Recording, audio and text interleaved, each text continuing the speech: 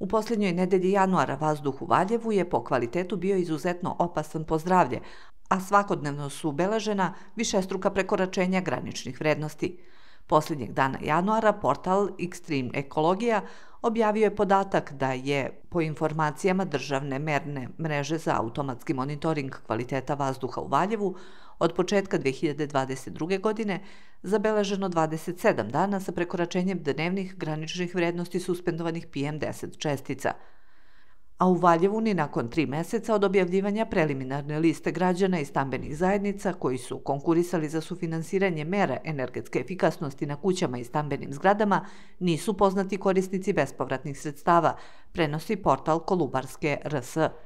Od 460 domaćinstava i stambenih zgrada za zamenu prozora i vrata u gradnju izolaciji i nabavku kotla na biomasu, Komisija za realizaciju mera energetske sanacije prihvatila 139 prijava građana i 5 prijava stambenih zajednica.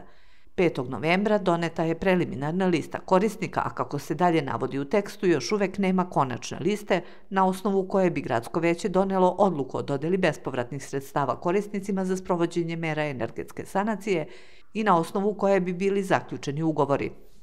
Od danas je Ministarstvo zaštite životne sredine pustilo u rad jedinstven ekološki informacioni sistem putem koga građani mogu da prijave ekološke probleme.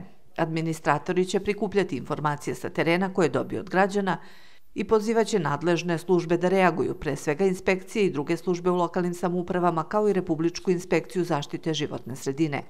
Građani će moći da šalju prijave putem mobilne web aplikacije Green Reaction, koja može besplatno da se preuzme na Google Playu, a omogućeno je slanje SMS i MMS poruka na broj 066 5555 001, kao i telefonski poziv kontakt centra na broj 0800 003 003 radnim danima od 7.30 do 15.30. Kako ističu u ministarstvu, sistem je veoma značajan jer će omogućiti da se zajedno sa građanima efikasnije pristupi mapiranju i rešavanju ekoloških problema u Srbiji, što će pomoći u kreiranju strategija za rešavanje ekoloških problema i u projektovanju budžetskih sredstava za te namene.